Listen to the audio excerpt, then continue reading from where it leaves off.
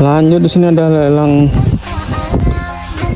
mobil polisi ya, Polda Jateng Toyota Vios G 1.5 tahun 2017 kilometernya 98.834 Sebuah unggahan di media sosial TikTok menunjukkan mobil dinas patroli jalan raya atau PJR, Polda Jawa Tengah dilelang. Mobil Toyota Vios tahun 2017 itu dilelang dengan harga 125 juta rupiah.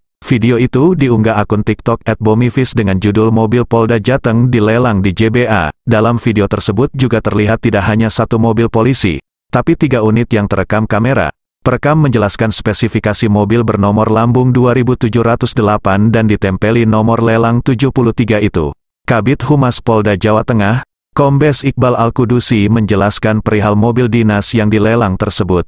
Ia mengatakan mobil itu milik Badan Usaha Jalan Tol Jasa Marga Solo Ngawi yang dipinjamkan ke polisi dan kini sudah dikembalikan. Dulunya mobil yang ditayangkan itu merupakan mobil milik BUJT PSN yang dipinjam pakaikan kepada Pejer Unit 7 Kartasura guna mendukung giat kepolisian.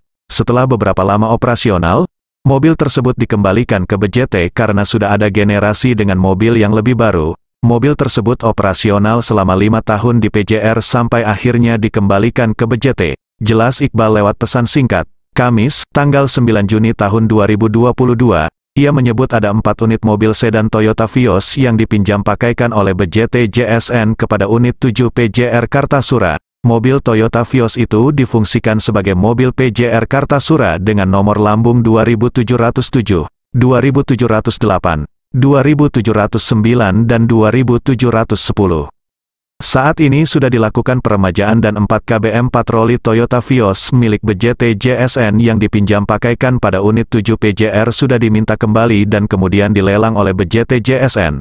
Ujarnya, soal lelang itu, Iqbal menjelaskan sudah ada mekanisme ketika mobil dinas Polri akan diganti atau dinonaktifkan hingga dilelang. Apabila akan dinonaktifkan dan akan dijual ke publik atau dilelang, pertanggungjawabannya harus rincin dan sudah ada mekanisme yang jelas, imbuhnya.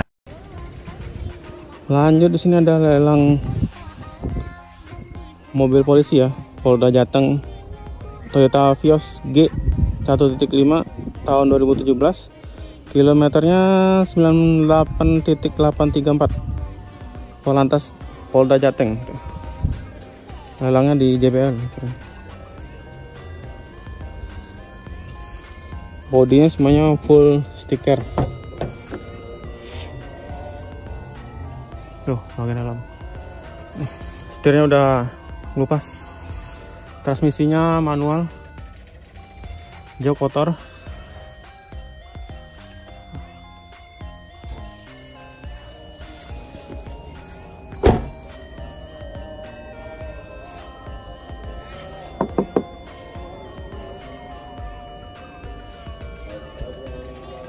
Toyota Vios